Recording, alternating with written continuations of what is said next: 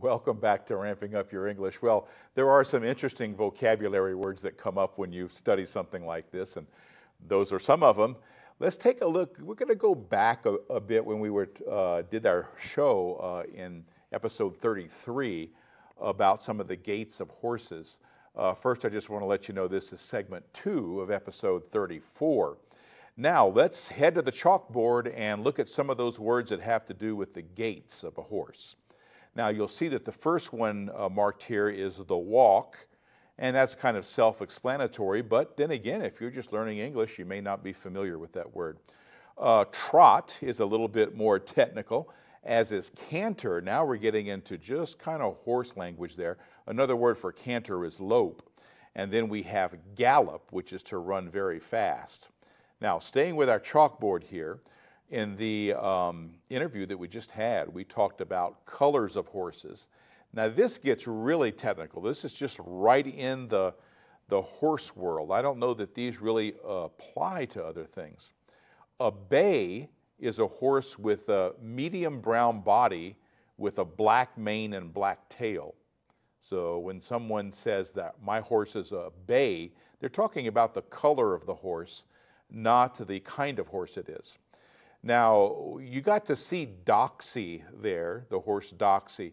She had a medium brown coat and her mane and tail were also pretty much the same medium brown. That's called a sorrel. And I understand in the uh, world of England, back in more European language, they call that a chestnut horse. Again, it's referring to the color. Now, buckskin, which I think was the favorite there, is a light brown with a black mane and black tail. Then we have the paint, which has three colors on it, and the Appaloosa, which I guess if I had to pick a favorite kind of horse, it would be Appaloosa. They have the big spots, and especially on their rump, they have a big spot. Now, speaking of rump, there's several parts of a horse, and one of them is the mane, and you saw them combing the mane in an earlier episode. The forelock or furlock is the part of the mane, I, would consider it part of the mane, but it hangs down on their forehead. And of course, the tail and the hooves, which is the, the feet of a horse. So those are some of the vocabulary things that we're starting to learn specifically about horses. But the unit is not just about horses. We're also studying animals in general. And when we come back, we'll feature a video clip uh, kind of an introduction to the whole theme of horses. But first, we're going to break for this. Is it true that ramping up your English is going to the dogs? Brandy. Yes, it is. And cats, horses, rabbits, geese, jaguars, and more. Join us in our new unit on animals. Ramping Up Your English is for intermediate English learners from all language backgrounds and all ages. We take a content-based approach to helping you reach higher levels of English proficiency. Our new thematic unit is animals.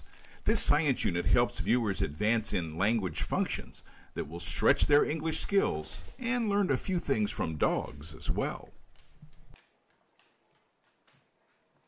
Openness, trust, faithfulness, loyalty, playfulness, and more.